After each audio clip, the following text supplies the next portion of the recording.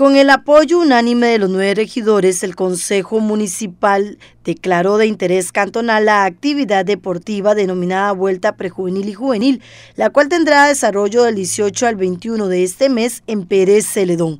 Oscar Ávila, presidente de la FECOSI, hizo la solicitud y fue aprobada por los regidores.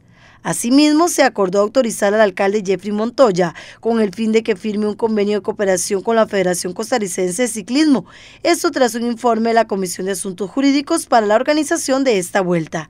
La inauguración de esta competencia será el jueves 18 de julio a las 7 de la mañana frente al Parque de San Isidro de El General. Se tendrá participación de equipos del país, entre ellos de Pérez Celedón, además de Panamá, Guatemala y México. Estas serán las etapas. La 1 saldrá desde la municipalidad de Pérez Celedón, recorrerá hasta Santa Marta y llegará hasta Peñas Blancas. La etapa número 2 es del Ingenio en Peñas Blancas hasta Miraflores.